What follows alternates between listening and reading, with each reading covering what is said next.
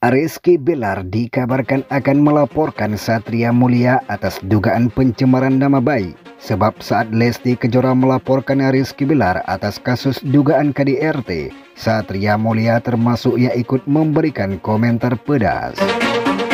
Indra Tarigan yang mengaku akan ditunjuk Rizky Bilar sebagai pengacara pun sudah siap melaporkan. Namun saat hadir di Uya Kuya TV, Satria Mulia tidak gentar dengan ancaman tersebut. Ia memang wajar, gue nggak merasa mencemarkan nama baik. Jadi kalau misal dia laporin, gue tinggal kasih keterangan ke Pak Polisi, kata Satria dalam video yang diunggah pada hari Kamis yang lalu. Satria Mulia ternyata sudah terbiasa menghadapi kasus hukum. Tercatat ada 12 kasus hukum yang dihadapi Satria Mulia di usianya yang baru 33 tahun. Polisi banyak bantu hidup gue pada saat gue tersandung kasus hukum 12 kali, ujar Satria Mulia. Meski begitu, Satria Mulia tidak pernah memakai baju oranye atau ditahan karena berhasil membuktikan dirinya benar. Setengah dari kasus hukum yang dihadapi Satria Mulia ternyata dugaan pencemaran nama baik.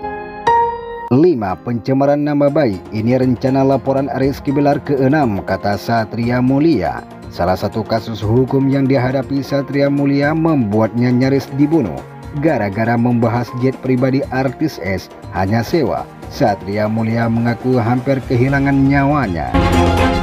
Inisial S akhirnya damai sih karena gue membongkar ada seseorang ternyata bukan jet pribadi dia.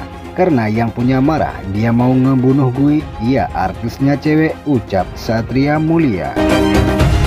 Selain dari itu, Satria Mulia disinggung soal pernyataan lawasnya tentang artis yang punya gadun berkedok ayah angkat.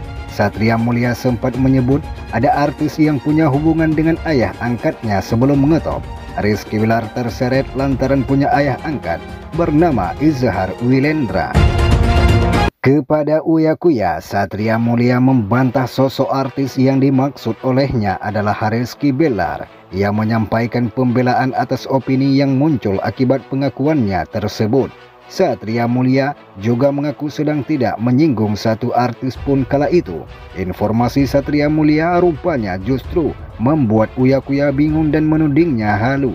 Sebab Satria Mulia tetap enggan mengungkapkan siapa sosok yang disindirnya punya ayah angkat bekas gandun tersebut. Tapi media sama netizen langsung mikirnya buat si MR Muhammad Ariski kata Satria Mulia. Yakin bukan buat dia nih, jadi buat siapa dong? Berarti lu halu dong singgung Uya Kuya. Lagi-lagi Satria Mulia dibuat tak berkutik atas kakmet yang disampaikan Uya Kuya. Ia bahkan berani melakukan sumpah Al-Quran untuk membuktikan kebenarannya tersebut. Ya secara global, banyak artis yang gadun ngaku ayah angkat Sumpah di atas Al-Quran juga berani tandas Satria Mulia.